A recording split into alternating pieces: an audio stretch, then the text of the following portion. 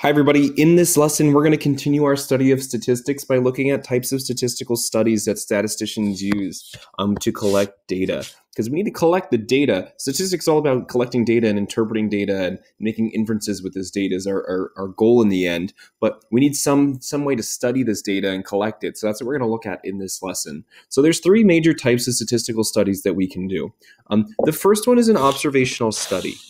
Um, and the key word there is observational. You're just observing your participants, you're just observing something to make to collect your data. So let's read through this and talk about why it's an observational study. So a study investigated whether boys are quicker at learning video games than girls. 20 randomly selected, and that's a key thing there. Randomly selected boys and 20 randomly selected girls played a video game that they'd never played before. The time it took them to reach a certain level of expertise was recorded. So notice, there's no outside influence here. There's no outside influence or questions being asked. The statistician here is simply just collecting data.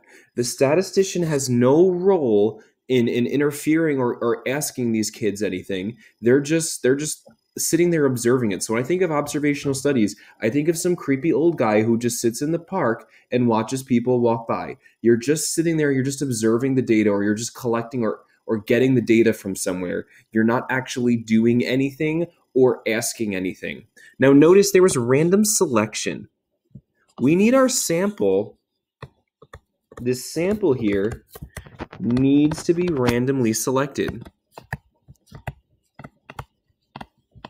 We need to be randomly selected when we do these surveys to become representative. I, for my for my um for my sample to be good, random selection needs to be used so that it represents the population.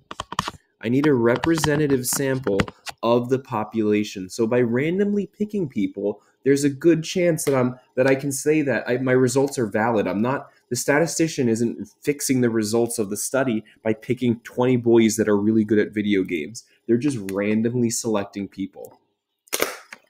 So that's all I have for observational studies. There's no outside influence. Someone's just sitting there looking and analyzing data. You're not actually applying a treatment to someone, you're not asking questions.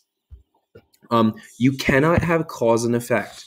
You get no cause and effect from observational studies. no cause and effect. I cannot say the gender caused them to be better to be better at uh, their being a male or being a female caused them to be better video game players. I'm just saying there's a relationship.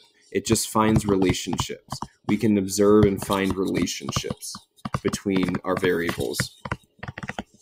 Between variables. A survey is similar to an observational study, but you, there has to be some form of question asking. So, a study is conducted to determine the number of students who do not like social studies throughout the school. As students enter the building, every 10 student was asked if they had a favorable view or unfavorable view of social studies. So, the students' responses were recorded. So, notice they're asking. A survey involves asking questions you ask the participants questions. You physically have to question them instead of just collecting the data by watching them. You're actually interfering with your participants and asking them questions. Notice this is a great sampling technique. I'm asking every 10 student that entered the building. This is giving me a representative sample. So I'm randomly selecting. I have random selection happening here. I have random selection to produce to produce a representative sample, a representative sample. Um, surveys do not give us cause and effect. I do not get cause and effect from this.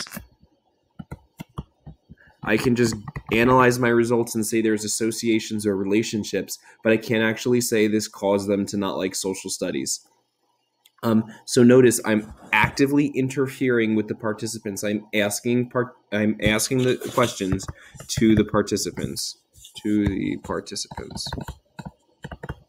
So you actually have to question them, whereas observational studies, there's no questioning occurring. So those guys kind of go together. And then on a different strand, I can do an experiment. And experiments are actually very important, but very hard to accurately do. So let's look at this experiment here and pick out some of the key pieces. So a study determines whether taking aspirin regularly helps to prevent heart attacks.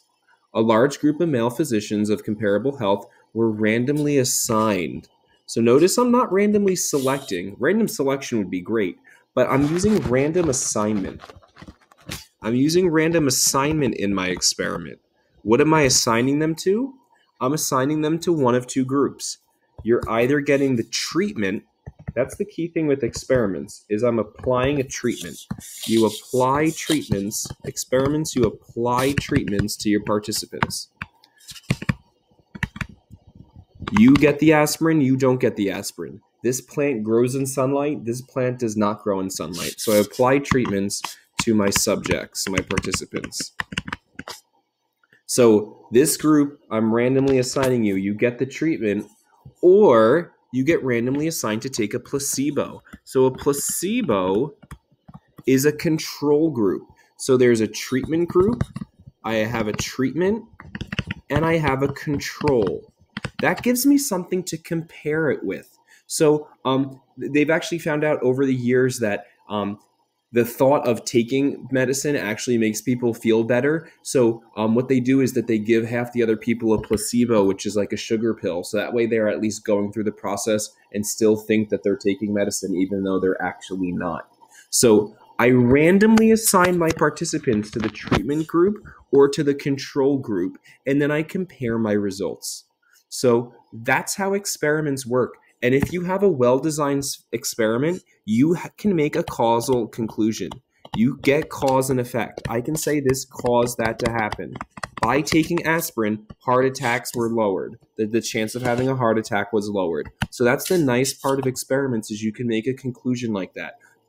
Because I have this randomly and randomly designed controlled experiment, uh, random assignment in my controlled experiment, I can say the treatment caused this outcome. I can say the treatment actually caused this effect to occur versus the placebo versus my control group, the control group that didn't have anything occur to them. So those are our three major types of studies. Um, I do want to go back to surveys for a second because it is the year 2020 right now. Um, a census is where you ask everyone, where you survey everyone you survey the entire population. You survey the entire population, which is what the United States is doing right now as we speak. They're trying to figure out and get an accurate population count. So, so by law in 2020, the United States and all citizens, um, everyone living in the United States, has to actually complete the census. Um, so the United States has an accurate representation of the of of the um, of the country, and that happens every 10 years constitutionally. So a census is a special type of survey where you don't use random selection. You survey everybody. You survey the entire population. Um, censuses are hard to do. They're very expensive, and it's very hard to ask everybody. That's not a good sampling technique. It's not a good way to collect data. Um, but a census, you ask everybody, which is which is extremely hard to do, especially when you're in the United States and have to get over 330 million people. So we have observational studies, we have the creepy guy sitting in the park, we have surveys where you're asking people questions, and you have experiments where you're assigning people treatments. So let's go through and for each of these, um, decide if it's a survey, an observational study, or an experiment, and we'll give a reason why. Um, and then we'll talk about populations or treatments and stuff. Maybe. Um, so the local Department of Transportation is responsible for maintaining lane and edge lanes on the paved roads. There are two new paint products on the market. 20 comparable stretches of road are identified. Paint A is randomly assigned to 10 of the stretches of road, and the other 10 get paint B. The department finds that paint B lasts longer. So, notice they're applying a treatment. A treatment is being applied here. The type of paint is your treatment treatment here. The type of paint is the treatment. And what am I measuring? We're measuring, we are measuring how long it lasts, right? B lasts longer. We're measuring how long the paint lasts. So because I use that word treatment, this happens to be an experiment. I'm doing an experiment between these two paints, and I randomly assign the roads to get certain types of paint. So that's an experiment happening right there.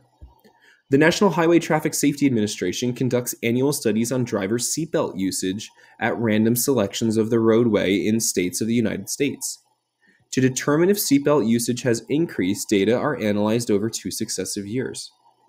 So it doesn't seem like they're questioning people. It seems like they're just sitting there and looking at if people use the seatbelt. It doesn't doesn't say that they're questioning people about their seatbelt usage, which would be a problem itself because if you ask someone, "Do you wear a seatbelt?" chances are that person is going to say yes. So um, th- this is an observational study. This is an observational study because we're just sitting there and seeing if they're wearing their seatbelt. Um, what is the population of interest? The population we're looking at is all drivers in the U.S. All drivers, um, all drivers in the U.S. So that's my population of interest. I'm looking at everyone who drives, and what am I studying? I'm studying are they wearing a seatbelt? Um, sh- people should brush their teeth at least twice a day for at least two to three minutes with each brushing. Thank you. That's that's my health advice for you guys. Brush your teeth. For a statistics class project, you ask. There's a keyword there. We're asking a random number of students at your school questions concerning their toothbrushing activities. So this is clearly a survey. Why is it a survey? Because I am actively asking people, how long are you brushing your teeth? Do you brush your teeth? So there's asking. The the the the, the, the statistician is actively asking the participants questions. So that's why it's a survey here. Um, the population is we're looking at the people at our school, the students in my school. And what am I interested in? I'm interested in their toothbrushing activities. So the students at my school is my population, and this is what I'm interested in studying. Oh boy, we got a lot of words here.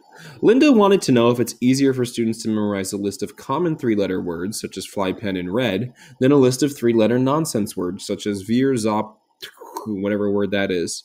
She randomly selects 28 students from all 10th graders in her district. She put 14 blue chips and 14 red chips in a jar without looking. Each student chose a, trip, a chip. Those with red chips got the common words, and those with blue chips got the nonsense words. She gave the students one minute to memorize their list. After the minute, she collected the list and asked the students to write down all the words they could remember. She recorded the number of correct words. So there's a lot of stuff happening here. So the key thing here is this this step right here. So the red chip people got the common words and the blue chip people got the nonsense words. To me, that looks like random assignment. She's randomly assigning them she's randomly assign she's randomly assigning them a treatment random assignment of a treatment. What are the two treatments here? Do you get nonsense? Are you going in the nonsense category? Or are you going in the normal words the common words so she's doing an experiment in this case she's doing an experiment to see if the common words are easier to remember are easier to remember so there's a random assignment of the treatment so you get nonsense you get normal words so this is an experiment um, because of that that random assignment that occurred in that step. All right, hopefully that wasn't too bad. We got a couple more and we'll call it a lesson. So consider the following scenarios. So we got three scenarios here. Researchers wanted to determine if there's a relationship between whether or not women smoke during pregnancy and the birth weight of her baby. Researchers examined records of the past five years at a large hospital. A large high school wants to know the proportion of students who are currently using illegal drugs. Uniformed police officers ask a random sample of 200 students about their drug use. And a company develops a new dog food. The company wants to know if dogs would prefer the new food over the competition's food. So 100 dogs who were food deprived overnight were given equal amounts of the two food, the new food versus the competitor's food. The proportion of dogs preferring the new food versus the competitor's food was recorded. So which of these is an experiment? Which of these am I applying a treatment? Which of these are treatments being applied? Um, so am I applying treatments to making the woman smoke? Uh, no. There's no treatments being applied by the police officer here, so it's got to be the dogs. It's got to be the dogs, and the treatment. What I'm what I'm treating there is what type of food they get. Is the type of food. Those are my treatments that I'm observe, observing there. Which scenario describes a survey? Will the results be accurate? So th- this one here is an experiment. We're done with that one.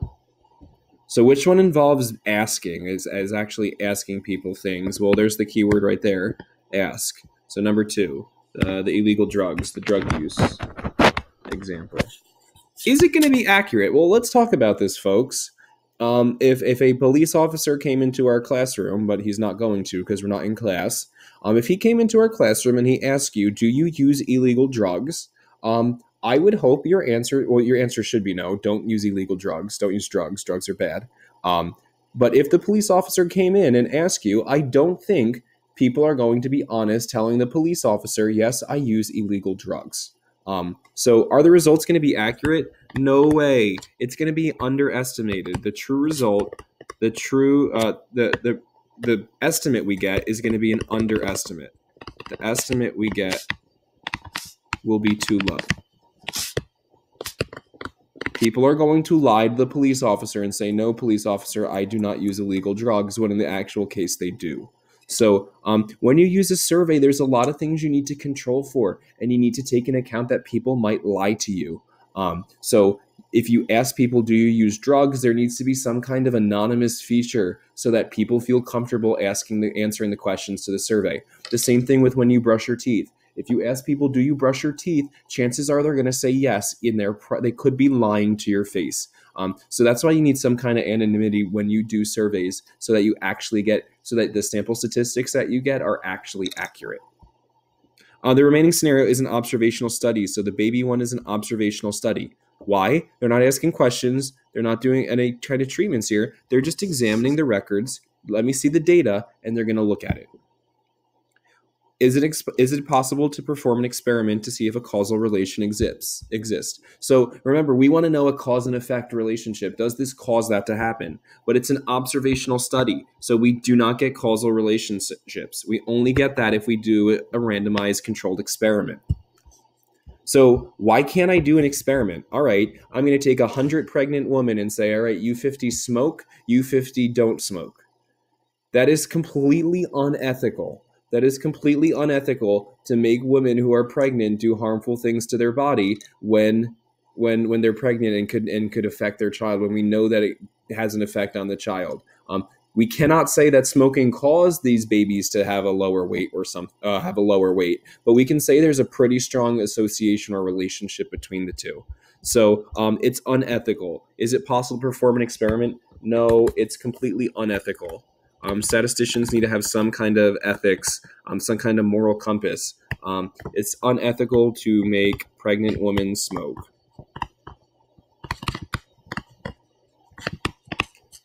And you can't randomly assign them. All right, you you fifty, you got randomly assigned. Go smoke cigarettes. No, that that's that's even worse. Um, I mean, you can look at women who do smoke, but chances are there's other factors, there's other variables um, that that maybe women who smoke are more likely to um, who they're, they're, they may, may be more likely to have other health issues. So maybe that's why the baby's weight is lower. So it's really unethical to do experiments. Uh, when you work with humans, you have to be very careful when you're doing experiments. And there's whole review boards um, that, that have to approve experiments. All right, last one here. A researcher wants to find out whether higher levels of a certain drug given to rats would decrease the time it takes them to complete the maze to find food. Why do we have to do an experiment rather than an observational study? Well, we're going to apply treatments. We're going to apply treatments, and I want cause and effect. I want cause. I want to say the drug. I want to say the drug. I want to say the drug caused the time to decrease. The only way you can get causation is by doing experiments. So describe an experiment the researcher might carry out on 30 comparable rats in three dosage levels. So I'm going to take my 30 comparable rats, I'm going to take my 30 rats and randomly assign them. I'm going to randomly assign 10 of them to three groups. You guys take the zero millimeter milligrams of drugs, they get one milligram of the drug, and these guys get two milligrams of the drugs. So I randomly assign my rats to three different groups. Notice that this group right here is my control group. It's my control group here. Why? Because they're taking the placebo. That's that's the placebo there where they're not they're not taking the drug. So then they're going to run the race, and then I'm going to compare my results. I'm going to compare my results. So there's three steps when you do an experiment. Randomly assign. You have to use some kind of control group, which in this case is the zero, the OMG, the zero milligrams. And then the final step is to compare your results. So you're gonna you're gonna do the experiment at that point. You're gonna compare results. So hopefully this gives you a better insight of what statisticians kind of do. They can do observational studies, they can ask surveys, or they can do an experiment. And I'll see you guys in the next lesson when we talk about a little bit more of what statistics is all about.